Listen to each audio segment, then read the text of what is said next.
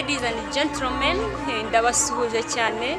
Nyuma y'iminsi myinshi mutambona kuri live so mwarambwiye ngo biriya biganiro nkora by'urukundo ukuntu ngomba ndi romantic somehow mu ijwi so murifuza kuzambona nkora ikiganiro live. So kwifuza kwanyu ndahari kugira ngo nguhaze. Kuri iyi nshuro nabateguriye ikiganiro cyiza cyane.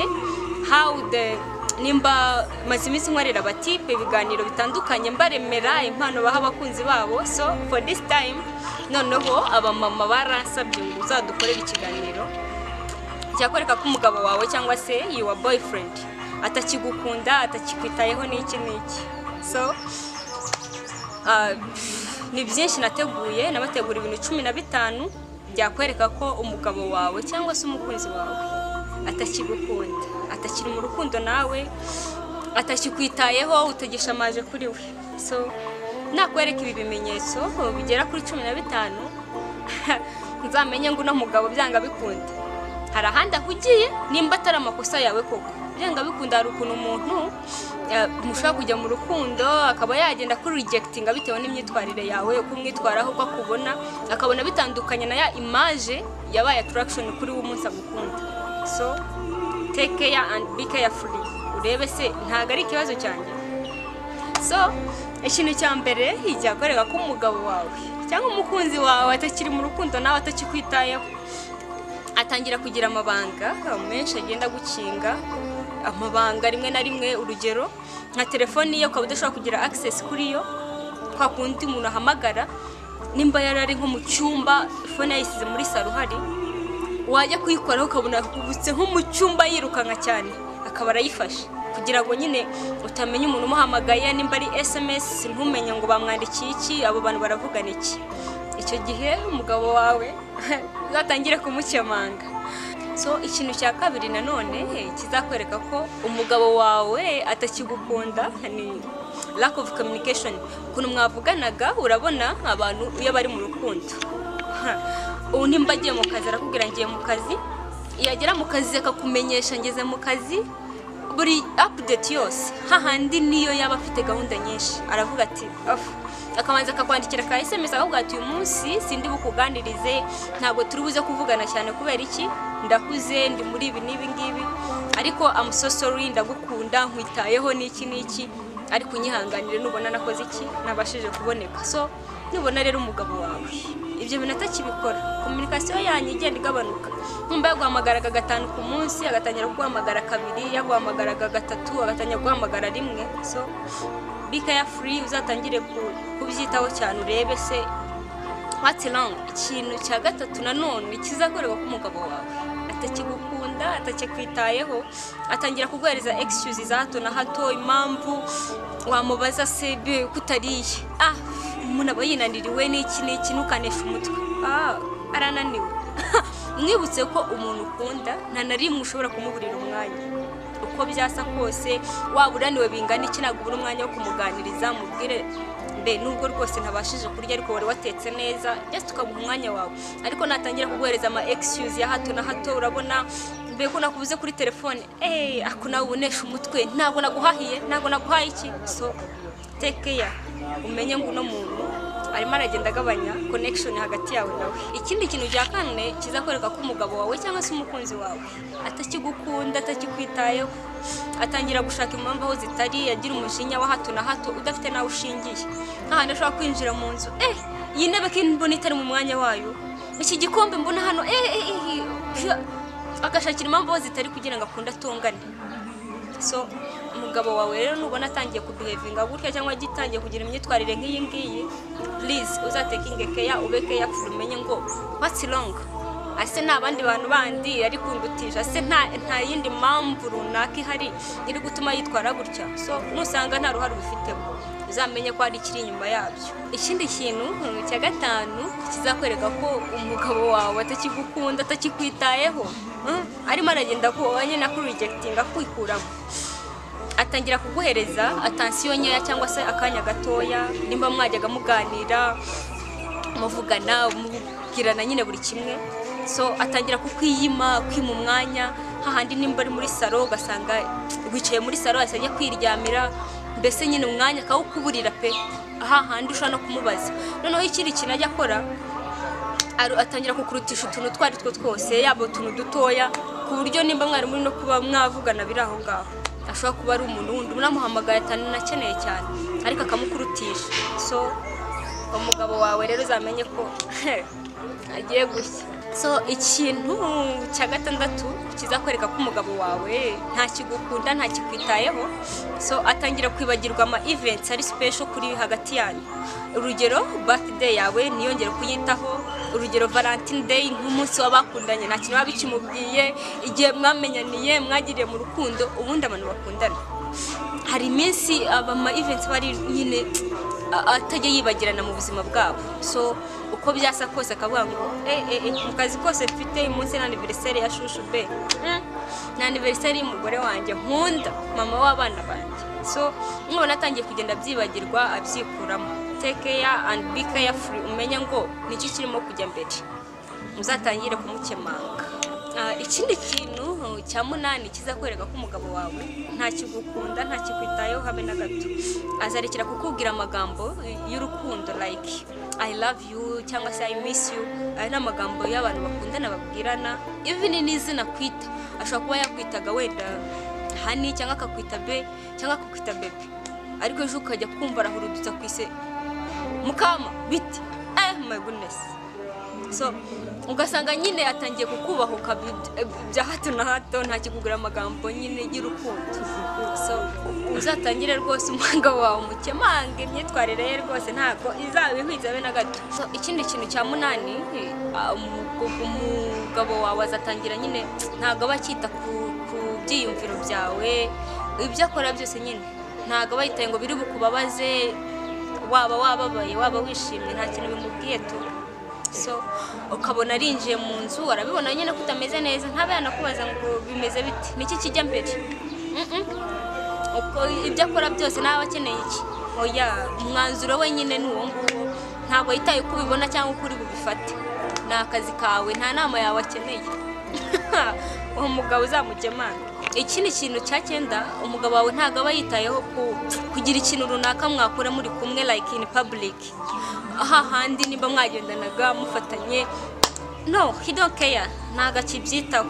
Nimba ari kwa kundi mujya mu bukwe mwagendanye mwese mwambaye eh, eh, umva ahubwo arakubwira ati usigarane n'abana wa mugore. Ubuse turasiga urugo eh? turasiga urugo rudomoro na runaka kamubwira ati ariko se umukozi ko ahari n'ubundi buri gihe ko njya mu kazi agasigara akabyitaho. No mvuze ngo iki? Ndavuze ngo sigara ku rugo. Hmm. so uwo mugabo rero uzatangire kumukemanga so ikindi kintu cya cumi kizakwereka ko umugabo wawe atakigukunda atakikwitayeho abroka like ni decision making agenda abiboroka nimba yajyaga gukora ikintu akakubaza ati bigende bite? Ntabwo aba acyitaye ukuntu uri bubifate oya ajya gufata umwanzuro akabikora wenyine. Yaba agiye kuvuga nimba ari ahantu agiye ntari bukuhereze ngo akubwire ngo ngiye ahangaha ngiye gukora ikino we akora ibye nyine ku giti cye nta gitekerezo cyawe aba akeneye. Bivuze ngo uba uri meaningless mu buzima bwe. So umugabo rero nakwereka icyo kintu uzatangire kumukemanga. N'iki n'iki mujya muba amaso mwa bagore so ikintu cya cumi na rimwe urutonde rw'ibintu cumi na bitanu byakwereka ko umugabo wawe atakigukunda cyangwa atakikwitayeho atangira kuba like akukubwira amagambo akomeretsa atitaye kuri bubifate hahandi nyine yinjira akashobora kukubwira ijambo rikomeretse. Ahahandi atangira no kugucyurira ibintu bya hato na hatoya. Eh wamubwira akantu eh utangiye kuzamura umunwa. Wibajya aho nagukuye so ugasanga nyine atangiye kukubwira amagambo atari meza kandi akomeretse. Ikindi kandi tekeya nimba uwo muntu koko atari ko asanzwe atari byo binasanzwe akora nyine uba umuzi muba mubana kandi umuntu iyo atangiye guhinduka uba umubona ukavuga se twamenyanye ameze gutya none dore ukuntu atangiye kwitwara. Hari amagambo yambwiraga hari ayo atambwiraga so uyu munsi noneho kubera iki yambwiye gutyo? So nubona atangiye kujya akubwira nabi agatangira akubwira amagambo akomeretsa nyine bya hato na hato utamumenyereyeho so uzamenye ko umugabo wawe nyine arimo kugenda ashaka ikintu cyatuma nyine umuhunga tu cyangwa se afite ibindi bintu runaka. Mbere kumubuza hagati aho ngaho. Ah, ikintu kindi cya cumi na kabiri cyakwereka ko umugabo wawe atangiye kuguhunga cyangwa se umukunzi wawe. Atangira kugukompeyaringa n'abandi nimba uri umumama ntabe purawudi yawe. Akavuga ati ujya ubona madamu wa runaka. Eh?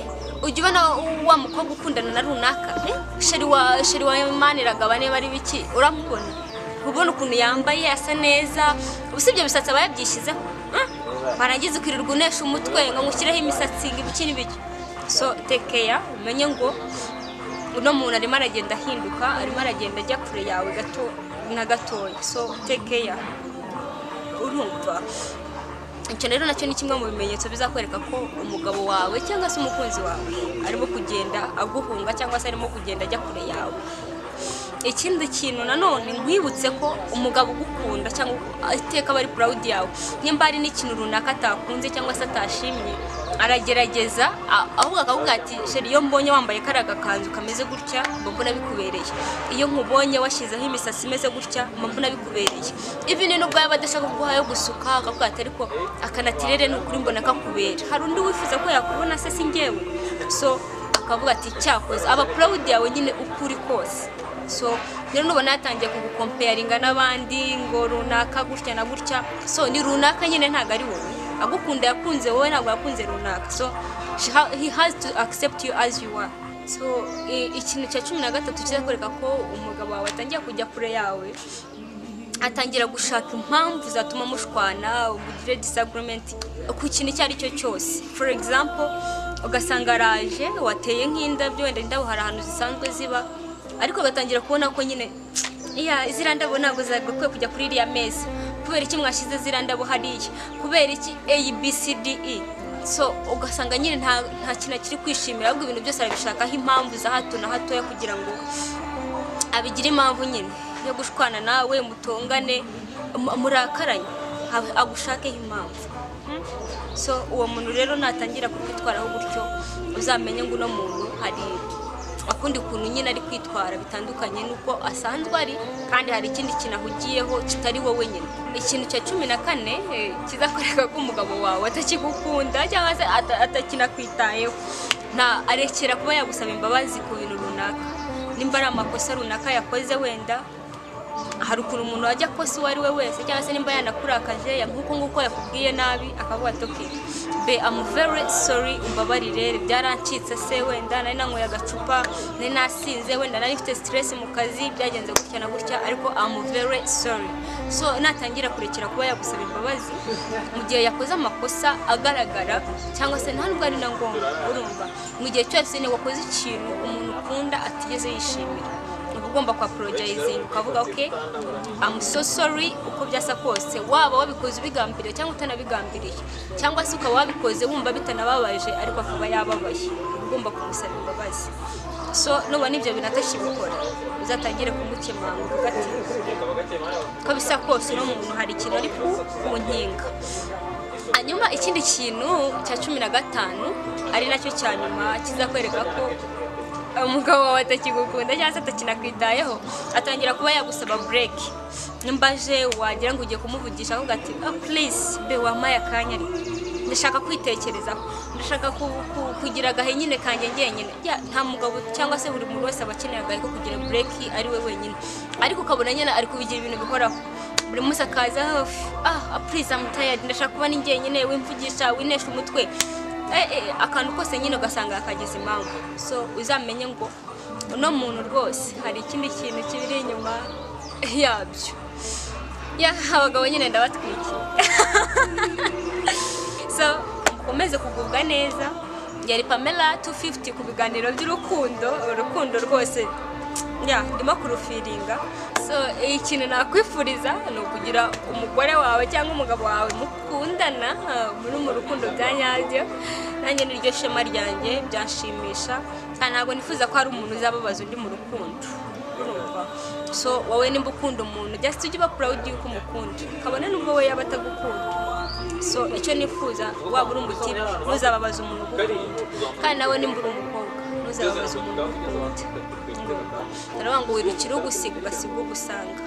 Wirukire uwo ukunda ugasanga atagukunda. Ugasiga wundi wagukundaga bya nyabyo nawe wagakwiye guha urukundo mu mukuzuzanya mugakundana bya nyabyo. So bye bye. Yari pamela uh, 250 ntiwibagirwe gukora subscribe umunsi ku wundi. Mbaha show kandi nziza. Bye bye.